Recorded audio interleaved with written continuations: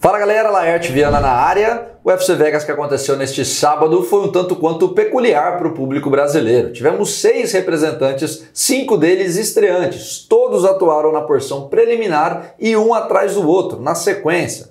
Lá ele. Vou mostrar tudo aqui para vocês o que aconteceu de melhor. O saldo foi positivo, foi bacana. Então já deixa o like aqui no canal para dar aquela moral, o YouTube entender que estão gostando do conteúdo e se inscrever para me ajudar a continuar crescendo, para a gente chegar na marca de 110 mil, quem sabe até o UFC 300. Será que é possível? Não custa sonhar. Então conto com o apoio de vocês. Beleza? Vamos pro vídeo.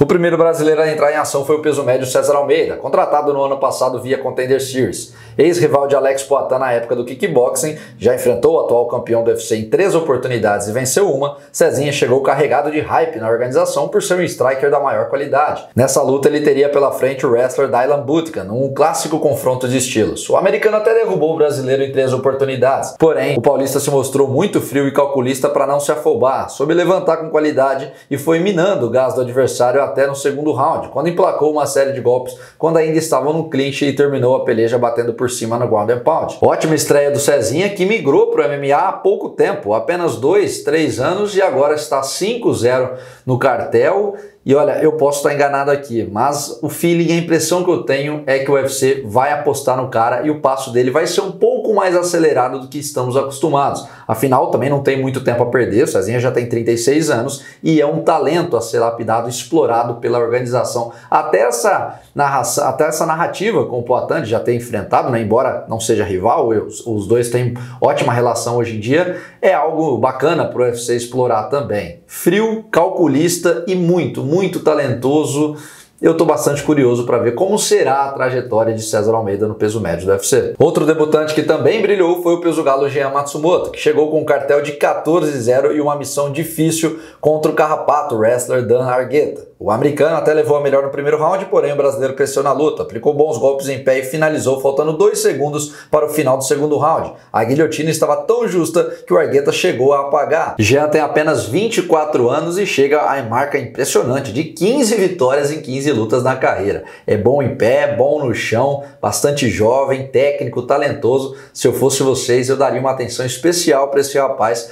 Tá cedo, sem pular etapas, mas a médio, longo prazo no futuro tende a ser um nome interessante para a organização e para nós, para o MMA brasileiro. Na sequência foi a vez de estreia dupla dos brasileiros pesos galos Vitor Hugo e Pedro Falcão. Falcão, que inclusive pegou a luta com apenas três dias de aviso e até entregou um bom duelo, porém acabou sendo superado pelo volume em pé do atleta da Astra Fight Team, que levou a melhor na papeleta dos juízes por decisão unânime, um 30-27 e duplo 29-28. Gostei bastante da qualidade técnica e da imprevisibilidade do Vitor Hugo. Também é um nome bacana para a gente acompanhar. Já a mineira Norma Duman chegou embalada com três vitórias seguidas e estreava no peso galo com apenas uma missão: se garantir, se colocar próximo do posto de desafiante da categoria. O primeiro desafio era na balança, pois fez a carreira inteira no peso pena e sempre foi considerada grande para os galos. Mas após a extinção da divisão de cima, não restou opções. Era descer ou descer, e isso causou muitas dúvidas no público para saber se ela conseguiria vencer a balança, e assim ela o fez com muita competência. Primeira batalha, ok, a próxima também não seria nada fácil, teria que passar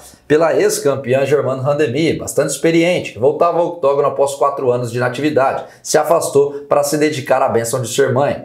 Norma fez uma luta estratégica e usou da sua boa luta agarrada para controlar a striker irlandesa no solo, evitando os riscos em pé. Ótimo jogo de quedas e controle posicional da Brazuca, que foi superior no primeiro e no terceiro round, vencendo numa decisão unânime dos juízes, triplo 29 a 28. Vale destacar nessa luta também o ótimo trabalho que o Johnny Vieira, treinador e marido da Norma Duman, fez a sintonia entre os dois é algo muito bacana de assistir. O que ele falava, ela conseguia executar. Até no corner ali, no intervalo dos rounds, ele dava instruções bem pontuais, bem técnicas, importantes, que acabaram surtindo efeito. Trabalho em equipe da melhor qualidade. E agora para a Norma, quatro vitórias seguidas, bate uma ex-campeã, tem moral na categoria, é relevante é claro, o UFC 300 semana que vem tem Holly Holm e aquela Harrison. Aquela Harrison, por todo o status dela, se chega e tem uma vitória que impacta, vai disputar o cinturão na sequência. Não tenho dúvidas em relação a isso. Mas sequer sabemos que se ela vai conseguir bater o peso galo. Então tem algumas coisas para acontecer. Dependendo do que rolar, por que não a Norma sonhar com uma chance de disputar o cinturão na sequência ou no máximo a uma luta de ter essa chance? Vamos aguardar. O último Brazuca a entrar em ação foi o peso pesado Walter Walker, irmão mais novo de Johnny Walker, que chegou invicto com 11-0 no cartel e 26 anos, que poderia representar uma aposta de renovação,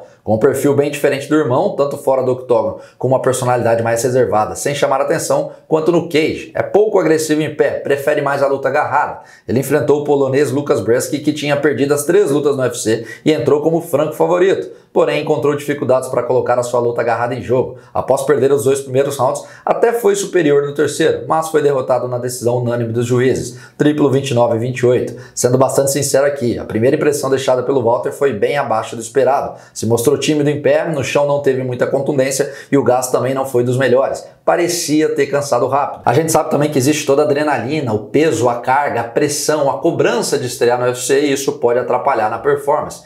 O Walker tem apenas 26 anos, tem tempo de sobra para evoluir. Mas é preciso ser justo e deixar pontuado que a primeira impressão, como eu disse, não foi legal. Tem muitas brechas no seu jogo, a curto prazo ele vai ter trabalho na organização se não evoluir. Repetindo, tem tempo de sobra, mas tem muitas coisas a melhorar no seu jogo. Vamos aguardar os próximos capítulos. Peço desculpas que eu não vou conseguir trazer nesse vídeo o resultado do main event Brenna Allen versus Chris Curtis, porque sabadão agora eu tenho um compromisso. Daqui a pouquinho então eu tenho que sair, não vou conseguir esperar. Mas dê uma olhada lá no Instagram, Laerte Viana MMA, que todos os resultados estarão por lá. Beleza? Aqui eu quero saber o que vocês acharam dos brasileiros. Seis estiveram em ação, quatro vitórias e uma derrota. Lembrando que teve um confronto entre brazucas, né? Vitor Hugo e o Pedro Falcão. E o que vocês acharam dos destaques? Norma está próxima de uma disputa de cinturão. O irmão do Johnny deixou a desejar. Jean Matsumoto é o nome para a gente ficar de olho. E o Cezinho Almeida, será que vai conseguir repetir a trajetória do Poatan, ter uma escalada rápida rumo ao topo ou calma lá? O que, que vocês acharam? Coloquem tudo aqui embaixo nos comentários. Não esqueçam de deixar o like no vídeo, porque é muito importante para o YouTube entender que estão gostando e apoiam o conteúdo. Beleza? Se inscreva no canal também.